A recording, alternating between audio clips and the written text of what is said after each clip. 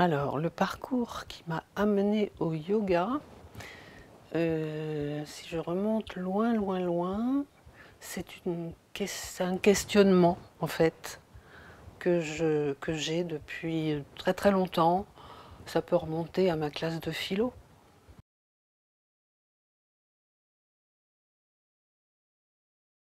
Alors je pratique le yoga depuis le premier confinement.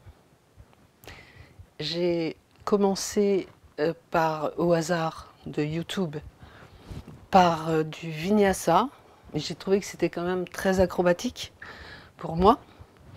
Et donc je me suis dit, et ça ne me correspondait pas tout à fait, je ne sentais pas l'ouverture vers autre chose que, que, le développement du sport, lié à un sport.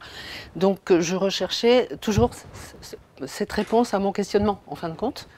Et, j'étais à peu près sûre de le trouver à travers le yoga, sans trop connaître le yoga, étrangement. Et j'ai cherché sur Internet, j'ai rencontré Sébastien. Euh, j'ai rencontré Sébastien par hasard. Il n'y a pas de hasard, mais c'est comme ça.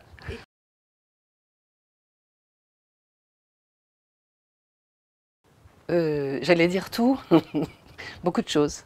D'abord, il a répondu à, mon problème de confinement, puisque le fait d'être enfermé ne me plaît pas beaucoup.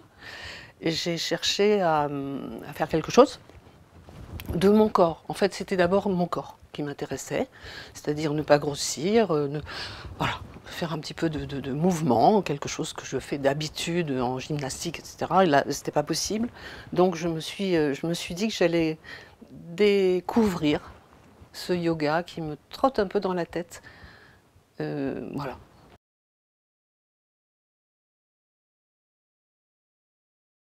Je dirais Sébastien, à savoir son charisme.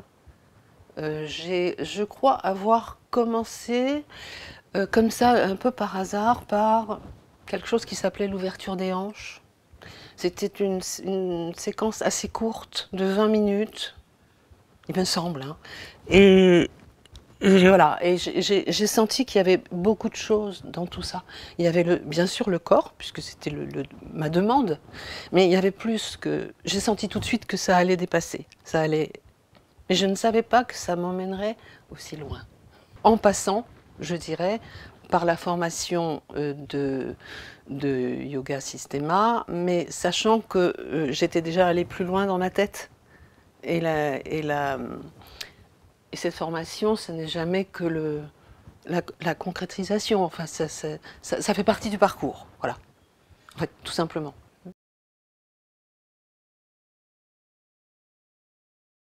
Voilà. Euh, J'ai envie de dire euh, par plein d'adjectifs, je dirais euh, la joie,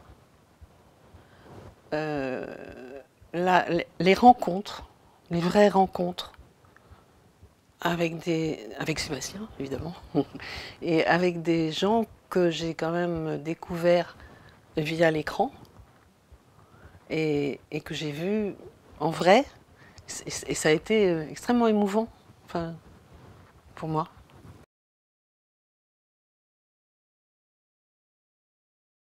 Alors la formation en ligne ne m'a absolument pas posé de problème je me suis très vite sentie en, osmose avec euh, Sébastien et avec le groupe.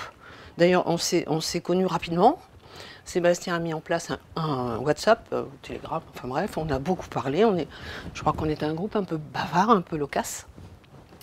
Et non, aucun problème.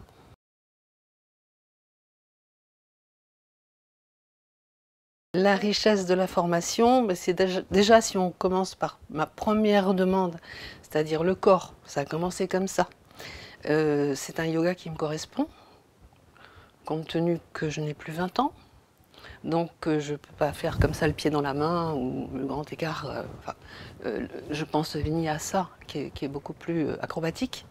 Donc ce hatha yoga pour le corps me correspond parfaitement parce que j'aime bien les postures, euh, en plus, il y a un côté euh, euh, racine que, j'ai aimé tout de suite. il y a les postures, il y a le pranayama. J'ai mis du temps à m'y mettre parce que j'avoue qu'au départ, ça m'ennuyait beaucoup.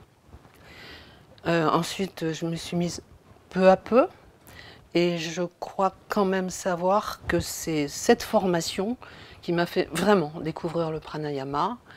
Et, alors la méditation, là, ça, ça a été un, ça a été vraiment quelque chose de très, très étonnant.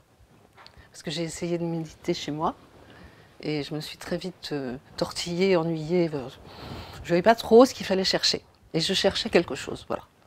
Et en fait, il y a trois jours, donc le, deuxième jour de méditation ici, alors peut-être à cause ou grâce plutôt à la durée, parce que nous méditons le matin pendant une heure. Donc c'est énorme. Le premier jour, j'ai trouvé ça mais très très long, enfin je, me suis ennuyée un petit peu. Hein. Et le, jour suivant, je crois que c'est le jour où Sébastien nous a apporté ces petits bouts de flamme, nous a donné sa flamme sous forme de bougie ça m'a plu, évidemment. Et peut-être que ça a été un starter.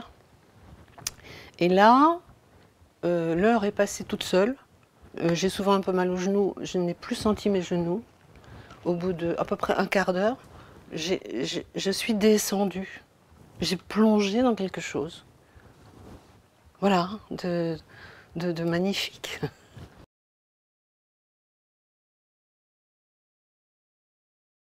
Oui, à mon âge, euh, le démarrage m'a posé un, petit problème dans la mesure où j'avais fait un tout petit peu, j'ai toujours fait un tout petit peu quelque chose, mais jamais rien de suffisant pour être euh, complètement souple et complètement sportive.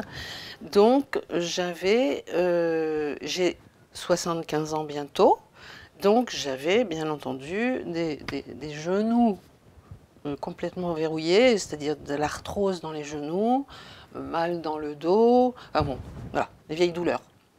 Et euh, les premières postures, alors je sais que dans, le yoga, il faut jamais forcer, mais moi j'ai forcé.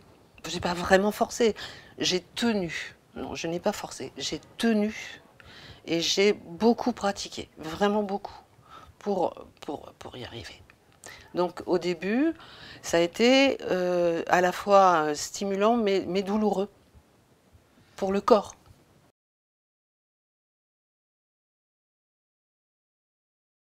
Oui, bien sûr qu'à 75 ans, on peut commencer le yoga. Enfin, la preuve, je l'ai fait.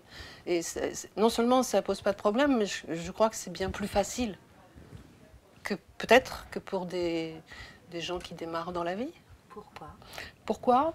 Parce qu'on a j'ai l'impression d'avoir un, vécu, quelque chose qui, qui fait que quand Sébastien nous parle, euh, c'est pas que je le sais, mais je le ressens tout de suite, parce que j'ai déjà vécu ces choses, j'ai déjà lu des choses. J'ai l'impression que c'est plus près de moi, enfin plus, c'est plus intime, c'est plus dedans. Voilà, c'est ça. En fait, c'est plus déjà dedans, même si je l'ai découvert depuis si peu de temps.